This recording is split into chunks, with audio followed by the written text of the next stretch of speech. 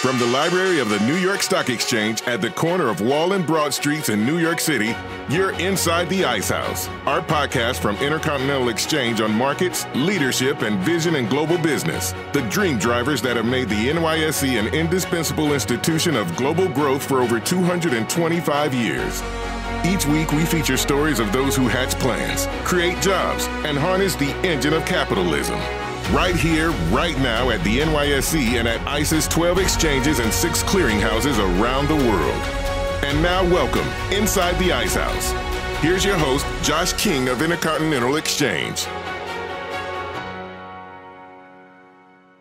Let me tell you the story of a small, family owned healthcare company that introduced a number of revolutionary medical products and procedures to the market. After a few decades of success, the New York Stock Exchange was regularly pitching this company to list on the exchange.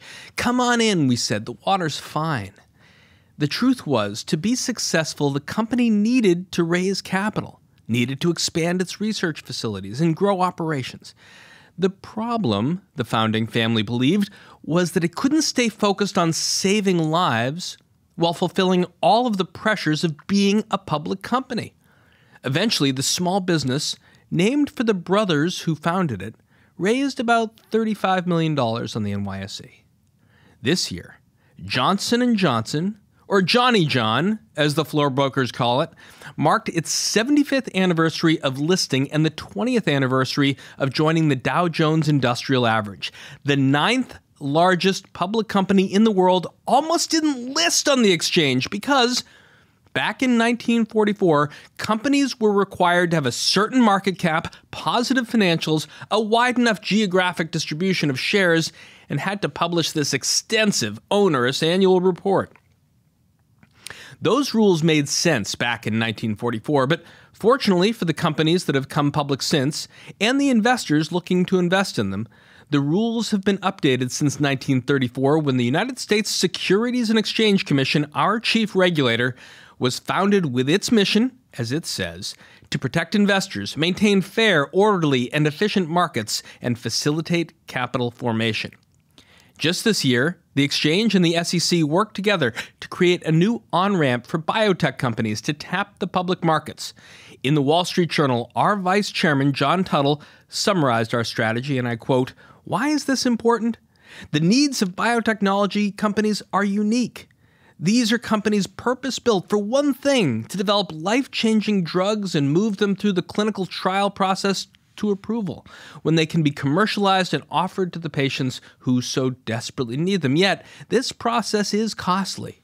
Capital becomes paramount. Unlike other startups, biotech companies have little need for marketing spend. They have no mass manufacturing or distribution costs yet. Their organizations are generally small with limited complexity.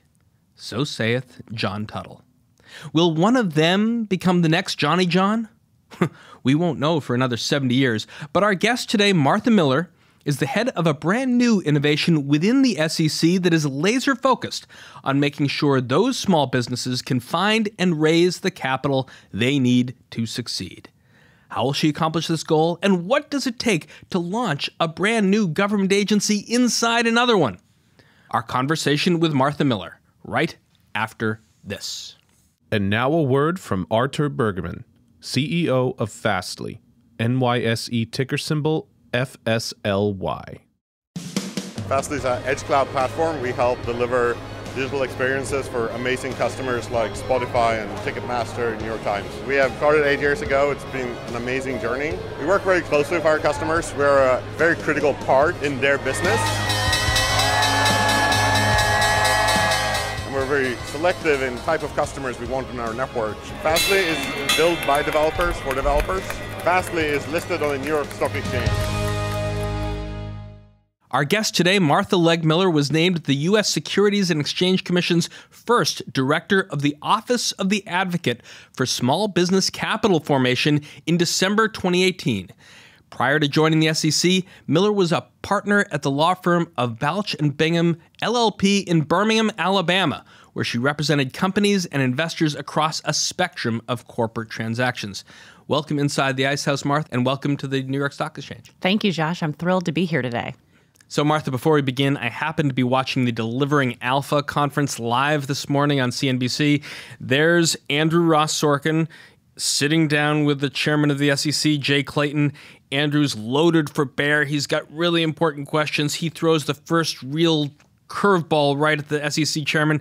The SEC chairman says, Andrew, I got to pause you. I'm going to look at the camera and say something first before I answer your question. He says something that I think you have to tell me as well, too, right? Yes, it comes with the territory of being a regulator at the SEC, and that is the views I express today are my own and not necessarily those of the commission. It's built into regulation that I get to say that. With that, let's move into the more exciting part of the conversation. In the introduction, I touched on some of your professional experience that prepare you to be the first advocate for small business capital formation, but you're also part of a family of small business owners, including your grandmother. What did seeing them navigate the ups and downs of entrepreneurship teach you about what it took to succeed in owning and running a small business? Yeah, my grandmother created a business when she found herself a single parent of three young children in a small town in Alabama. And her solution for how she was going to provide for her family, which is kind of revolutionary for a single woman in the 50s in the South, was to create a business.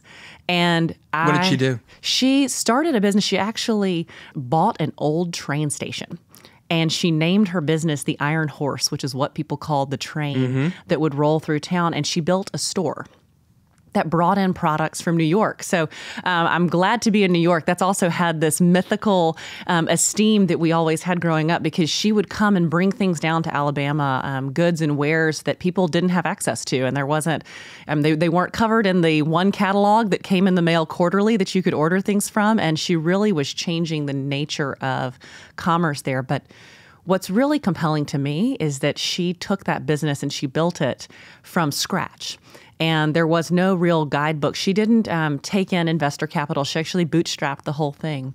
But it's the story of kind of the grit and determination. And my dad would tell stories about getting on his bike late at night when she would stay open late for someone that needed to come in after hours.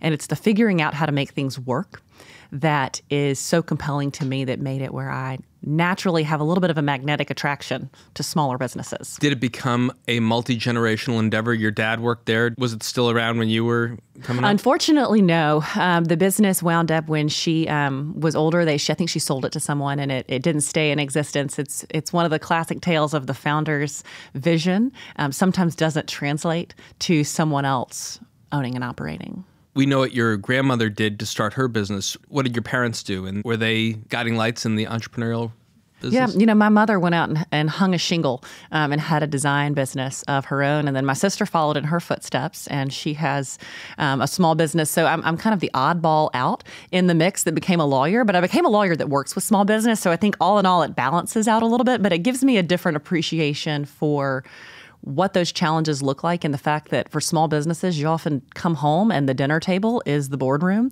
and you are continuing the conversations. They, they don't end at five o'clock for most smaller and growing businesses. Now, you say you became a, a lawyer, Martha, but the most common undergraduate degrees for st- students becoming lawyers, I don't know, might be history and political science.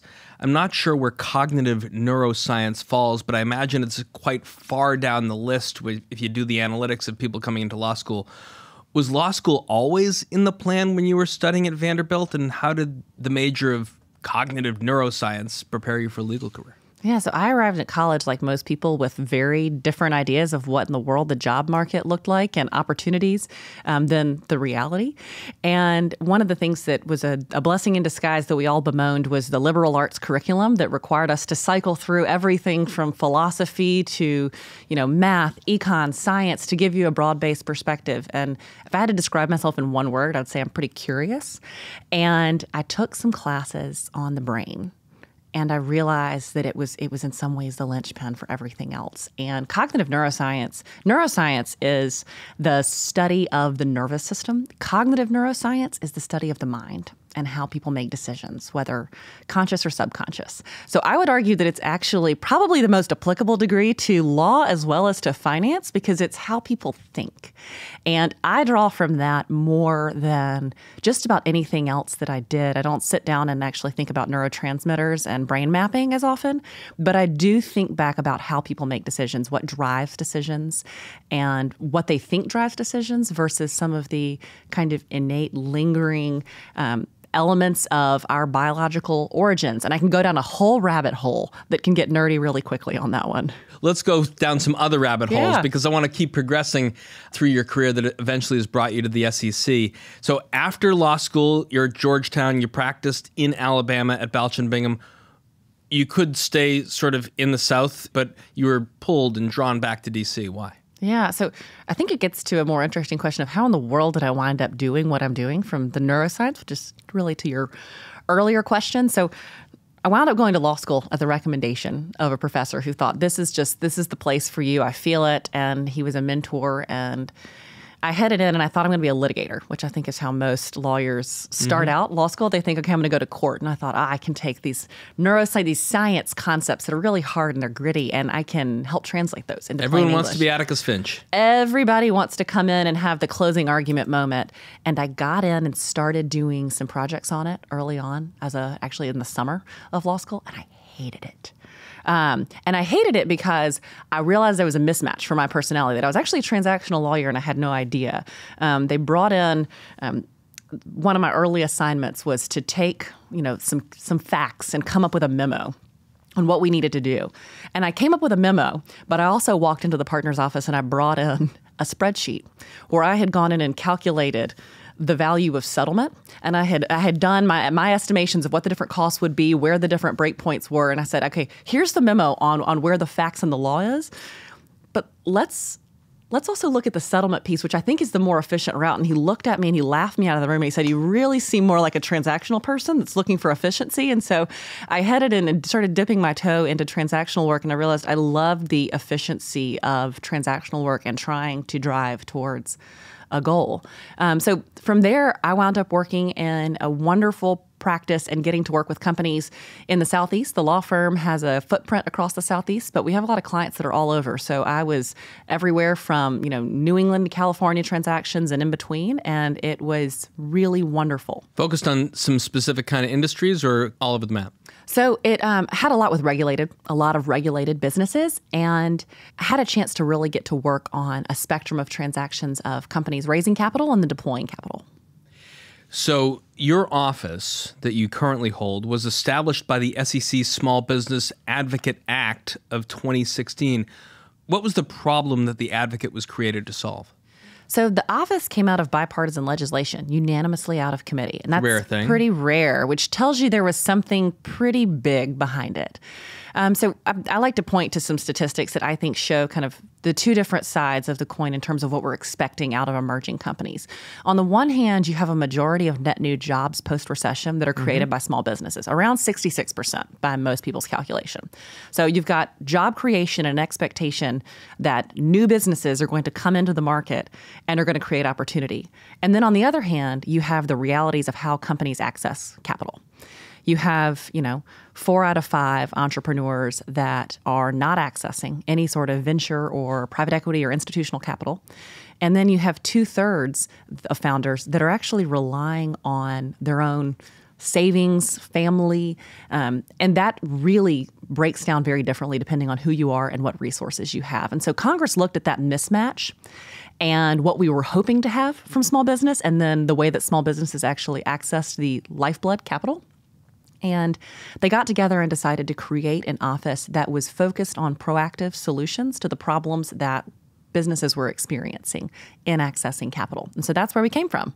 And what kind of businesses are they? Are these the mom and pop coffee vendors set up outside on Broad Street at the exchange, or the small cap companies that potentially are on the list for NYSE American or everything in between? Yeah, small for our office is a very relative definition. Um, so we're looking at everything from what you might think of as small companies, from startups and emerging Main Street businesses that are accessing a variety of different.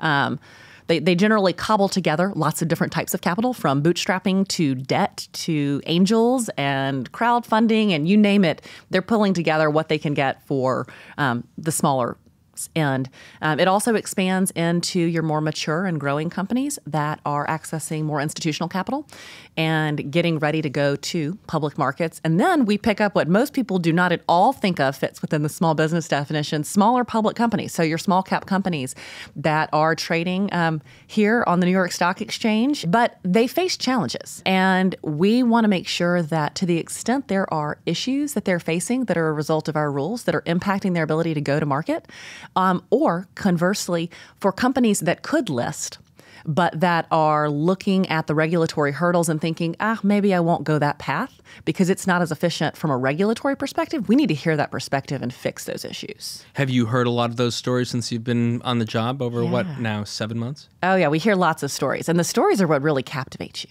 I want to hear about sort of the stories that affect a certain part of the population of small business owners. We had Accion CEO Michael Schlein on the podcast who shared that women make up a significant number of microfinanced and small businesses that they work with across the globe. Is that what you're seeing here in the US as well?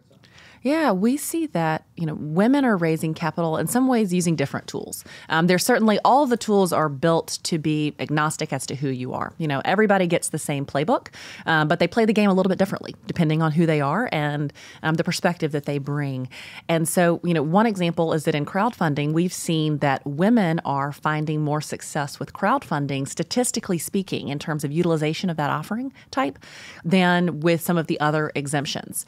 And it's interesting to to see that it and we don't know exactly what the reasons are. You can hypothesize, and we've heard people that have given their own theories. Some of the theories have been we've got a definition of accredited investor, which is really a, a, proxy for sophistication of that investor and when you can use the private markets to access um, private individual and other investors. And we've heard some women, including one that we just talked to last week, that said, My network of people that are high net worth is different than other people. Um, we've also heard people talk about, you know, along those lines of what their network looks like and um, how they go about accessing that network. General solicitation that's a lovely legal term, which is really not going out and broadcasting that you are seeking capital, um, but instead staying within your network. We have rules that prevent you from going on the internet. You can't get out and just tweet and announce that you're raising capital unless you're fitting within a public offering or within one of the exemptions that allows it. And so we've heard from people. I seem to remember Elon Musk did something like that. no comment. How about that? um, but yeah, the rules around that potentially have a disproportionate impact on women, on founders of color, on founders that are in areas that don't have as dense of networks of potential investors or investors that invest in their industry. And so that's the type of feedback that I really value receiving because that helps us to think critically about rules that we intended to apply across the board and to realize that maybe we need to take a different perspective to how we regulate those offerings and in terms of taking a different perspective, I think in June, the SEC issued a concept release to explore the harmonization of private market offering options to promote capital formation for growing companies. So I compare harmonization to the roadways and thinking about efficient pathways to get to your destination. And our goal is not to tell you where you're going, but to make sure that the path that you can take is a smooth and efficient roadway. And um, the analogy that comes best to mind to me is thinking about you know, me driving a couple of weeks ago downtown DC, and there was a construction zone that was highlighted, but there was absolutely no construction that was happening there. But nonetheless, we filed into a single line, and traffic slowed down and really just stopped. And I sat in the tunnel thinking, huh, I wonder how many of our rules are like this, where we have left different caution signs in place, where we've told people to slow down, that they can't proceed at the speed that they think they should be able to. Um, what we need to figure out is where do we have some of those lingering road signs or, you know, blockage points or blocked exits that people can't take. And let's make the roads work really efficiently so that everybody can get to their destination at the speed that makes sense. I mean, is there enough time to get that done, Martha? Because Chairman Clayton gets nominated by the president, gets confirmed by the Senate, gets in office into mid 2017. You've started this year there will be only so many years that you will, you know, hold this job before you're on to bigger and better things, perhaps. And there's a lot of work to do. What kind of results are you feeling just in terms of this first several hundred days on the job, and how do you think you can get a lot of change done before you know you have to pass to the next advocate? Well, one thing that I'll point to is we've got our regulatory agenda that's out there, and it's very capital formation focused. There is a lot in there, harmonization being one element of that, and there's a lot of momentum to get things done. Um, the harmonization concept release didn't come out of nowhere. It came out of a lot of people having been coming forward and saying, please fix these things. So this is the window to start fixing it, and we're going to try to move quickly on it. Um, there's a lot of opportunity to uh, bring some relief to the markets and to make sure that we have got a robust pipeline of companies in the private markets that have an opportunity to then go public. So you're talking about moving quickly, Martha. As the head of what you've described as a startup inside the government, you did what everyone you're advocating for should do, which is put together a business plan for the first year. The document laid out the purpose of the office and a detailed roadmap for meeting them. What's your vision for the office? Yeah, so creating the office, there is actually no good guidebook or roadmap for how do you build a new office in the government. Um, very few people have actually had the privilege of doing that. And so when I approached it, I did what most small businesses and startups do, which is put together a business plan. And I think that that business plan really does a good job of giving people a sense of where we were going. A lot of people, when we first got started, they had a lot of questions about okay, who are you? What exactly are you going to focus on? How are you going to do it? When can we expect to see different things from you? And I wanted to put that out there for people so that they could know what to expect and follow along with us. And so that business plan, you know, it looks very much like a startup business plan, except we got to omit a few sections because we are not looking to actually raise capital with it. Um, we're looking to get buy in into the support. So we talk about kind of our mission, what's our vision, how do we approach things from a pragmatic and efficient perspective, and then laid out kind of what's our MVP or minimum viable product, which most startups come out with. Okay, exactly what are you going to deliver and when, and then what's the full scale suite of your, you know, product or service that you'll be delivering.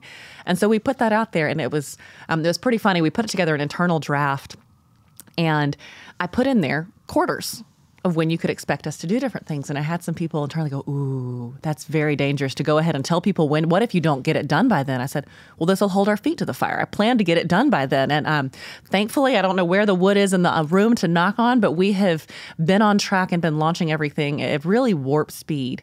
Um, the solutions are needed. They're very much so needed. And so we are thrilled to be off to the races. You probably could have been appointed to head different government departments that had been long been formed and had a good roadmap or had a business plan laid out that you could modify and tweak and improve on.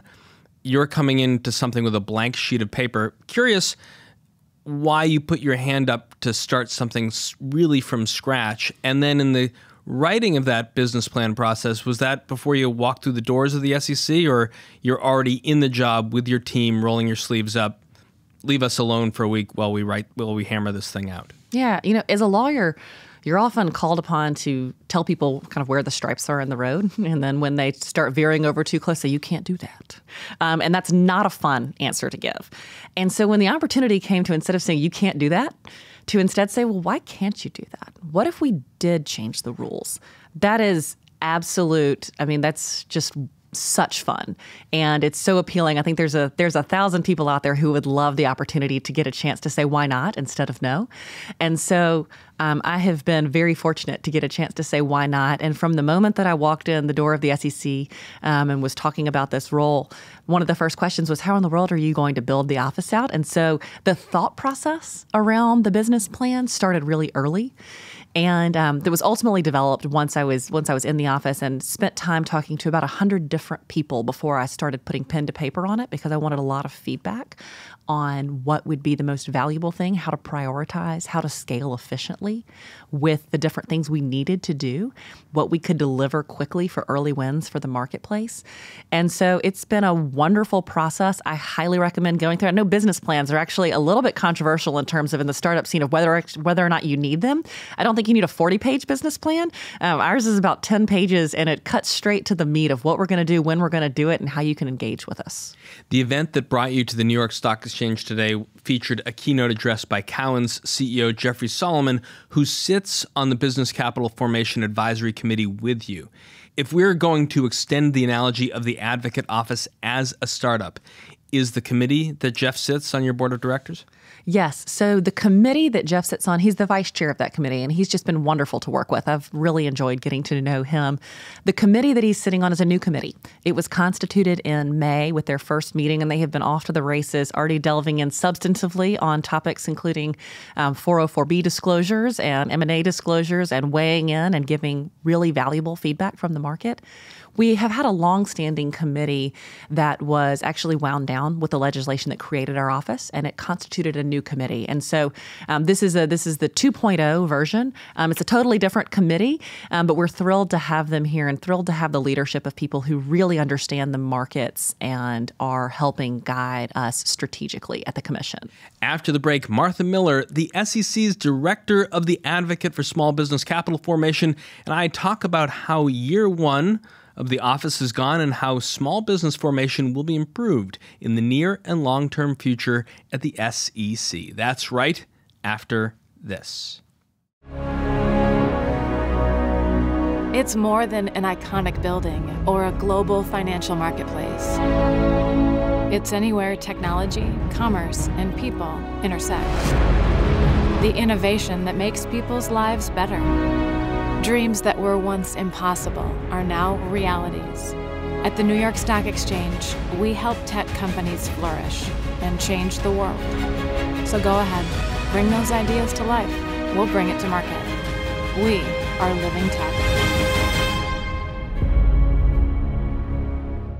Welcome back. Before the break, Martha Miller, the SEC's director of the Advocate for Small Business Capital Formation, and I were discussing the formation of the Advocate's office and her career path to becoming its director. Maybe one question before we really get into the second half, Martha did you call on the Office of Long Naming Government Departments to try and do some analysis on how to truncate the name of this place? Yeah, I wish. Um, with the the title is is embedded in the U.S. code, so I didn't get a chance to give it a catchy branded title. Um, so we were stuck with a long, very DC esque acronym. You've been crisscrossing the country since you first took on the role. Your first speech as advocate was in Kansas City. To the time that you spent earlier this week in Arkansas, what are some of the advantages of getting out to meet small business owners on their own turf? Yeah, you know, I think that what's the most incredible about getting outside of the, the little bubble in which so much of the regulatory world works is actually hearing how people are really using the rules and how they're really finding success. Um, the other piece that just it may sound it, it almost sounds obvious is people love being asked for their opinion and they're shocked when they get a chance to actually weigh in. A lot of people haven't thought they've thought they're too small, um, whether they're a you know small business or an angel investor in their community. They haven't thought they were the big fish that we wanted to hear from, and we've always wanted to hear from them. But now we're going out and making sure they have a chance to really meaningfully weigh in, and that is really powerful. So, what is, when you ask them, the number one barrier between them and access to capital? Totally depends on what type of capital they're looking to raise. Um, the barriers look very different. One thing that our office did, because we span such a broad um, swath of the market, we've actually broken it into one that you'll find it in our business plan. A nice plug if you want to go look online and find it. And we broke it into three market segments. So, one is, you know, your really small emerging companies that are bootstrapping, they're using um, you know, a combination of a lot of different types of capital raising techniques to raise relatively small amounts to get the businesses off the ground or to fund, you know, smaller incremental capital expenditures.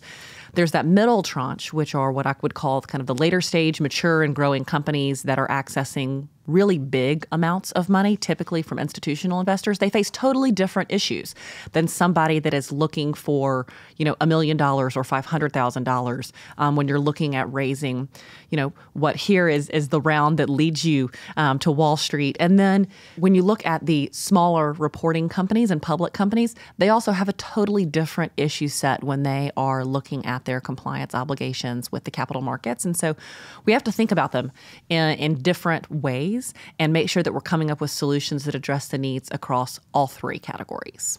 Martha, public companies follow a number of regulations that are not required for private ones, such as quarterly earnings. The expense, both in dollars and manpower, of producing quarterly earnings have led CEOs of mega cap companies to come out against it. President Trump has tweeted about it. Is this a topic that you think should be looked at, particularly for smaller public companies? So, in terms of a topic I think we should look at, anytime the market is speaking up on something, I think we should be looking at it. And I'm very interested in the perspectives of how we strike the right balance with disclosure what do investors actually want and need? And let's find the right balance so that companies and investors can work together in symbiosis really efficiently. So, in August, the Commission proposed a shift in principles based disclosure requirements and also adds a new disclosure topic regarding human capital. How will these changes modernize reporting, and how does that affect the companies that you're advocating for? So I think that principles based disclosure is a welcome change that was driven by the feedback of what companies and investors are really looking for. I would say for me, um, looking at how smaller companies interact with that um, really also comes back to the lawyers that are advising them. The one thing that I really think could be potentially concerning is if you have lawyers that um, find it to be very safe to stick with the prescriptive list of disclosures as opposed to principles based and are hesitant to give clients and businesses advice on how to move to a more um, streamlined disclosure set. But I think the more that we can look at ways to make it more efficient efficient to get information out to investors about the things that investors care about, the better. So, Martha, last month you and SEC Chairman Clayton attended the 38th annual Government Business Forum on Small Business Capital Formation, the first year that you were responsible for planning the event. You went to a place that I went many years while I was at First Data. Why was Omaha, Nebraska the right location to hold this place? So we took the entire commission on the road, which is, I think, the one time of the year that we actually get all five commissioners out of DC and at a big event together, which is really a testament to the importance of capital formation um, to the entire commission. And it was wonderful getting a chance to plan something that has a long history. There are people that almost view it as an alumni reunion that are really passionate about this space and they come every year. Um, but we've had a tradition over the past couple of years of taking the forum outside of DC and going out into the market and engaging people in different places and getting new perspectives and looking at what's happening in Omaha. They've, they've branded themselves the Silicon Prairie, which is, I think, uh, you know, everybody has a Silicon something, a Silicon Slopes, a Silicon Coast, a Silicon this and that. Um, but what I really love is their chamber's motto, we don't coast, which is both a metaphor for, you know, not being content to sit on the sidelines and just skate by, but it's, it's really a proactive grit and determination in their business community.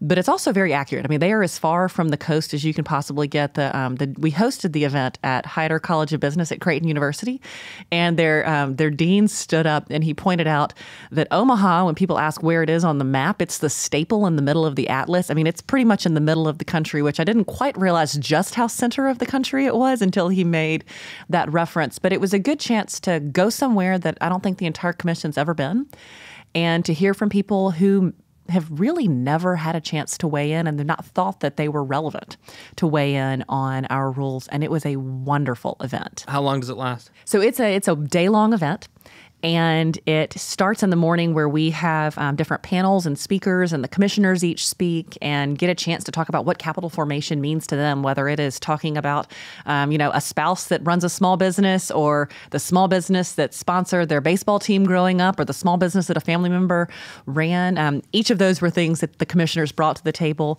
Um, we had a wonderful panel that talked about um, how they found success raising capital and what they're doing to build really neat companies. I mean you have have companies that are being built, technology companies that are employing hundreds of people in sports and AI technology, and um, just very interesting stories that you hear when you actually give somebody a microphone and let them tell the story. And then we talked a little bit about harmonization and that concept release and got in the weeds a little bit, as you might expect from a securities conference. Um, the really neat part is the afternoon in the afternoon, we break out into rooms and we broke out along those three different segments of the market. And we asked people to start out and talk about what are the most pressing issues that they see. And we did it via word cloud and used technology that gave people a chance to weigh in. You don't have to be the loudest person in the room. You can weigh in somewhat anonymously on those issues. And so we started with the issues. And then those rooms delved into a conversation about the solutions to those issues. And ultimately, what you'll see out of that, we have a report that'll be delivered summarizing that. And that's going to go to Congress. It goes to the commission and it really sets out this is what we are hearing from the marketplace. It's this is not the perspective of our office or of the commission. This is what people are telling us are the key issues and what we need to work on solving. And that's that's pretty powerful. The forum in Omaha was conveniently coinciding with the Maha Discovery Festival, an entrepreneurial conference. I read your address to the group and had flashbacks to President Reagan's famous quote The nine most terrifying words in the English language are, I'm from the government and I'm here to help. Was the group more receptive of your thoughts than you feared? Yeah, you know, that is something that. Um, it is terrifying to most people. And we've learned that if I send a cold email to somebody from an sec.gov email address, it goes unanswered. I mean, people don't know what to do with a regulator that's reaching out to them. And so, one of the things that I've realized we have to do is we just have to own that. Um, so, I stepped up, I actually told the story at Maha of the first event that we did. And I'm all excited. We've gone to Kansas City and we're going to speak to a group of entrepreneurs. And I step on stage, um, and there's hundreds of entrepreneurs in the crowd that had been practicing their pitches. And I stepped on stage and I said, Well, I'm from the SEC and I bet you're wondering why I'm here. And a guy on the front row got loud. He just shouted back, Yeah, why are you here? I mean, really wondering what in the world we are there doing. And so I've I've had a wonderful opportunity to get to own that element of it and to try to craft a different experience for people working with the government. I think that, um, you know, you quote Reagan, I think he had a sign in his office that said you can do a lot of good if you don't care about getting the credit or some derivation of that. Um, our office is really not about getting the credit for things, but about making sure that good things happen for business. And as soon as people realize that, as soon as people realize that there's somebody who cares about what's happening with their company and that we want to make sure it's successful, they want to talk to us almost immediately. I mean, it must be eye opening for them to have a government agency or a government office actually being their helper and their friend rather than one that is trying to be burdensome. Yeah, it is. It's different, and I think that you know advocacy is in our title. Advocacy means a lot of things to a lot of different people. Um, I'm a total. I, I, love to read and um, love the etymology of words. I think it's fascinating, and the etymology of advocate comes from some medieval language, vocare, meaning called to use your voice. The same root of the word for vocal and vocalization but it's called to use your voice for others. That's really what we are. We're a megaphone for the voice of other people and giving them a chance to see that there's somebody that cares about the issues they're facing, but that can bring that perspective and those issues to bear in the right rooms at the right time to change and bring solutions on them. If your customers are these businesses, how do you want your customers to go away from an interaction with you or your team feeling about? I want them to feel empowered. That's that's the one word I would use, and to recognize that there is a champion, and that we want the capital markets to work really well, no matter your size, and for you to have every opportunity in the world if you've got a wonderful idea or concept to bring it to market. You created your business plan at the beginning of your year as you started this role. As 2019 enters its fourth quarter, what do you think you still need to accomplish as you look back at what has been your first year rollout and your entry into the SECs and the small business ecosystem? Yeah, you know, we've heard from hundreds, if not thousands. I don't have the exact tally of people. We still need to hear from more people. We need more perspectives brought to the table. We need more people realizing that they can use their voice and impact the way that the capital markets are regulated. Um, looking ahead, I'm really excited. We're delivering our first report at the end of this calendar year, and that will lay out our recommendations based on the feedback we have received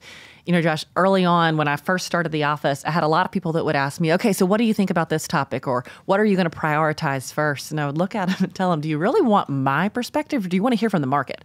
Because we haven't yet heard from the market. We don't have a statistical sample size that gives us really the pulse. Um, it's not about my perspective, it's about what we're hearing and communicating that in a compelling way. And so I'm looking forward to delivering what we have heard from the market this year um, and looking forward to 2020, what we can accomplish and drive on that policy agenda. Do you wait until you finish the 2019 report until you make your 2020 plan, or is that happening in parallel? It has to happen in parallel. I mean, realistically speaking. So we are working on that actively right now. What are some of the key performance indicators that you think you'll need to add to better track the success of the SEC helping small business Yeah. going forward? You know, every business has their KPIs, and ours are a little bit different um, because we don't track the same sorts of customer traction and adoption rates. But what I do think is important is to see how many issues have come forward, how many different regulatory items have come across the agenda, and where have we been able to impact them positively. Um, that's the most important one for me. You've described your job, Martha, as a megaphone for your constituents. And what are you hoping to raise awareness around in the coming years that you've not had a chance to tackle yet? You know, I want us to think really holistically about the ways that companies communicate with their investors. I think that sometimes we, we all too often, I think, uh, particularly in DC, like to think about there's investors on one side and then there's companies on the other side. And in my perspective and the experience that I bring, there is no two different sides. They're sitting at the same table. And what's good for investors is good for the company, and what's good for the company is good for investors. And I think that the more that we can derive solutions that bring mutual benefit, the better. That requires thinking about things sometimes a little bit differently. It's really easy to think in very discrete buckets as opposed to thinking about broader dynamic forces of the market. And that's that's the most challenging part of the job, but it's the one that's the most exciting. If a podcast is a megaphone, what would you tell them in addition to everything that we've talked about today about what the advocate can do and, and the role that that your office plays and the opportunities that they have working with the SEC? Yeah, so the podcast definitely a megaphone. I love podcasts. Um, I'm at risk of speaking really fast because I listen to them every morning at usually one and a half to two times the speed, um, as we like to call chipmunk speed. So um, apologies to anyone listening if you really need this one to slow down to you know three fourths of the speed of the speaker. Um, but it is a megaphone, and one thing that I think is the if you take away anything from today, take away that I want to hear from you, that we have an entire office and a team that is interested in your perspective and um, you can contact us in a way that you don't usually experience with um, calling somebody, you know, uh, whether it's customer service or anything else. You don't dial one and then shout representative on repeat into the microphone, hoping that you get a person on the line. Um, when you call, you either catch a person or if we're not at our desks, because we're often working and not sitting at our desks, if we're not at our desk, you leave us a voicemail and we actually call you back. Um, we're here, we're your teammates, and we want to see you succeed. So reach out to us. How do they find you? So you can find us in just about any way that you like to communicate. I mean, everything from Twitter to fax to the internet to phone. Um, the easiest is to email smallbusiness at sec.gov. Um, you can also visit us online at www.sec.gov slash OASB. Um, we laughed about the length of our name. Our acronym doesn't have all of the letters in it just because it gets to be a little bit too much. So we just use OASB. Um, and we've also got a lot of resources online at sec.gov slash small business. Small business at sec.gov. Thanks so much, Martha, for joining us inside the Ice House. Josh, thank you very much. It's been a pleasure. That's our conversation for this week. Our guest was Martha Miller, advocate for small business formation. If you like what you heard, please rate us on iTunes so other folks know where to find us. And if you've got a comment or a question you'd like one of our experts to tackle on a future show, email us at icehouse at theice.com or tweet at us at Icehouse Podcast. Our show is produced by Pete Ash and Teresa DeLuca with production assistance from Ken Abel and Ian Wolfe. I'm Josh King, your host, signing off from the library of the New York Stock Exchange. Thanks for listening. Talk to you next week. Information contained in this podcast was obtained in part from publicly available sources and not independently verified. Neither ICE nor its affiliates make any representations or warranties, express or implied, as to the accuracy or completeness of the information and do not sponsor, approve, or endorse any of the content herein, all of which is presented solely for informational and educational purposes. Nothing herein constitutes an offer to sell, a solicitation of an offer to buy any security, or a recommendation of any security or trading practice. Some portions of the preceding conversation may have been edited for the purpose of length or clarity.